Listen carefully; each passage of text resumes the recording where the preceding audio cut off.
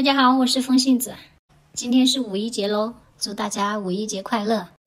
五一长假肯定有很多人都会出去玩。我自从在院子里面种了花花草草和菜之后，就哪儿都不想去了。有空的时候就在院子里面看看天空，或者是看看我种的那些花花草草和菜，觉得也是挺充实、挺美好的。我这个人是比较喜欢安静的，在假期人多的时候，没有特殊情况，我是不愿意外出的。还是来我的小院儿看看。今天把黄瓜给管理管理，我顺便把黄瓜的腕儿也给吊上了。采用的是吊腕儿的方式，吊腕儿比较简单，只要在每一排黄瓜的上面，给它横一根杆子，然后用绳子系起来就可以了。要不然的话会需要很多棍子。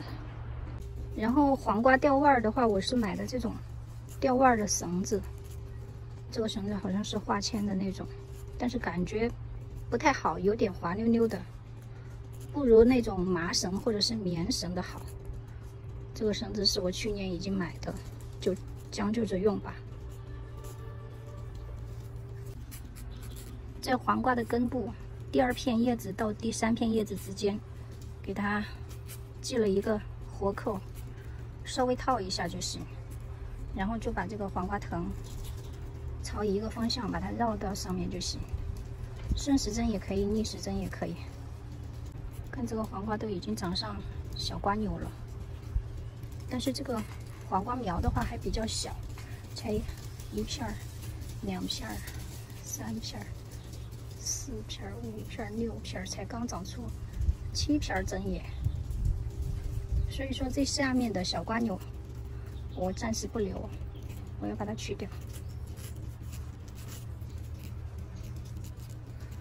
加这片小叶子才第七片针叶，所以这下面的瓜扭我通通都不要，至少要七片或者是九片叶子才开始留黄瓜。太早了留黄瓜，它长起来就直接杵到地上，而且长了小瓜扭的话，它就会争夺养分，这个苗就长不好。所以暂时不让它长黄瓜，把这些长出来的须也给它掐掉。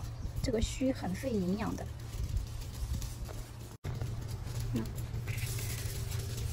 每一节上面它都已经长出小瓜妞了，而且这个小侧芽也长出来了。小侧芽给它掰掉，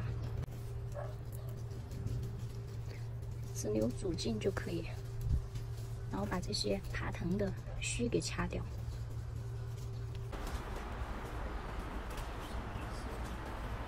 这棵苗才长了五个针叶，上面的小瓜钮我就给它去掉了，这些卷须全部都去掉了。这个才一、二、三、四、五、六。等它们长到七八片儿、八九片儿针叶的时候，才考虑开始留黄瓜。现在先让它长苗子，苗子长好了以后，结的黄瓜才结得多，才结得好。好了，今天的黄瓜管理就是这样：先掉腕儿，然后打掉多余的小瓜扭和卷须。我是风信子，喜欢我的视频就关注我吧，我们下期再见，拜拜。